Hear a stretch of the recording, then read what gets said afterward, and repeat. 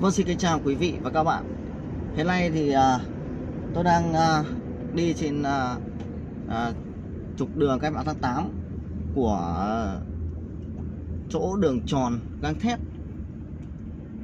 Có lẽ rằng là chúng tôi sẽ chia sẻ cũng như là trao đổi một số các cái kiến thức về bất động sản để cho anh em à, chúng ta đầu tư về bất động sản làm sao để cho nó hiệu quả có rất là nhiều nhà đầu tư về bất động sản đã thành công. Và có rất nhiều nhà đầu tư về bất động sản. Họ đã mắc rất nhiều các cái sai lầm, đúng không ạ? Trên thực tế thì đầu tư bất động sản cũng là một cái nghề. Nếu như chúng ta chuyên sâu về nghề đầu tư bất động sản, thì chúng ta sẽ thấy được cái giá trị, lợi nhuận của nó à, rất là tốt còn nếu như chúng ta không chuyên sâu về đầu tư bất động sản mà chúng ta chỉ đầu tư theo cái xu hướng tức là à, làm kinh doanh một kiểu có điều kiện chúng ta bỏ cái số tiền đó ra và chúng ta mua được à, bất động sản đúng không ạ? Và chúng ta để đó. Sau đó thì để một hai năm chúng ta thấy có lãi chúng ta bán đúng không ạ? Đó cũng là một cái cách đầu tư. Thế nhưng đó không phải là đầu tư chuyên nghiệp. Nếu như chúng ta đầu tư chuyên nghiệp về bất động sản thì nó có một cái giá trị tốt hơn hẳn so với lại à, chúng ta tích trữ được ra một số tiền và chúng ta mua vứt đấy chờ một năm nó không lên giá thì chúng ta không bán chờ hai năm không lên giá chúng ta không bán và chúng ta chờ bao giờ nó lên giá thì chúng ta bắt đầu mới bán. Đúng không ạ?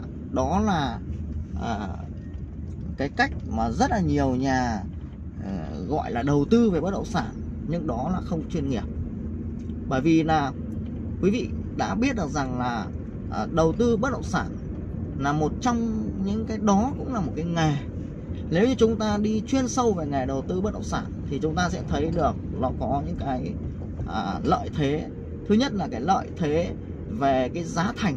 Thứ hai nữa là lợi thế về cái độ chuyên nghiệp ví dụ, chúng ta biết được rằng là chúng ta đi đầu tư về bất động sản, những người có nhiều kinh nghiệm. Một là người ta làm kinh nghiệm về đầu tư trong dự án, thì người ta sẽ có cái kinh nghiệm là đầu tư như thế nào để cho nó sinh ra lợi nhuận, đúng không ạ? Bởi vì là trong dự án cũng phải có một cái chiêu thức để đầu tư. Còn nếu như chúng ta đầu tư mà trong dự án chúng ta không có chiêu thức, chúng ta cũng không thể đầu tư được. Đó là một cái cách mà chúng ta lên tìm hiểu. Bởi vì những cái dự án mà chúng ta không nắm bắt được từ cái bước à, một bước 2 bước 3 thì chúng ta làm sao mà đầu tư được đúng không ạ? Thứ hai nữa là chúng ta phải nắm được thị trường ở trên đó ở vị trí đó ở xung quanh đó để chúng ta đầu tư đúng không ạ?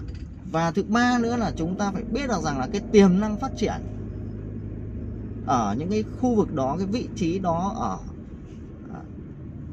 cái nơi mà quý vị muốn đầu tư đúng không ạ? Tức là nó có rất nhiều cái để chúng ta cần phải phải nghiên cứu. Hay là chúng ta đầu tư chuyên nghiệp về đất nền đất của dân ấy thì à, chúng ta cũng phải nghiên cứu thật kỹ. Bởi vì sao? Chúng ta đầu tư ở khu vực này thì chúng ta phải biết được rằng là khu vực đấy nó đang có gì phát triển. Và cái giá thành hiện tại giá thành trước đây đúng không ạ? Nó như thế nào? Thì chúng ta mới nắm được. Và chúng ta còn so sánh ra những cái vùng lân cận thì chúng ta mới biết được để chúng ta đầu tư.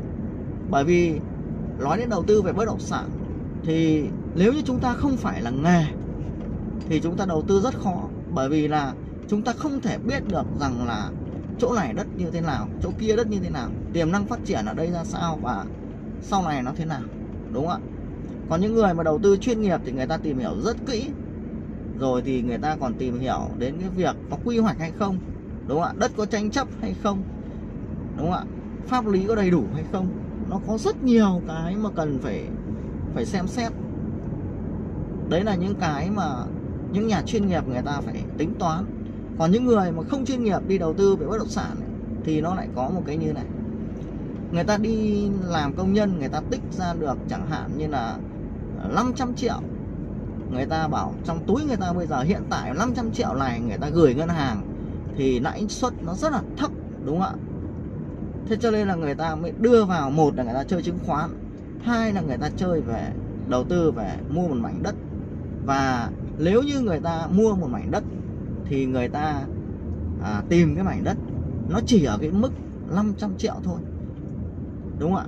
Và người ta không có suy nghĩ gì là à phải mua cái mảnh đất này là cái mảnh đất à, mảnh đất nó rất là đẹp mà nó phải 600 nhưng người ta không đủ, người ta bảo chỉ mua 500 thôi.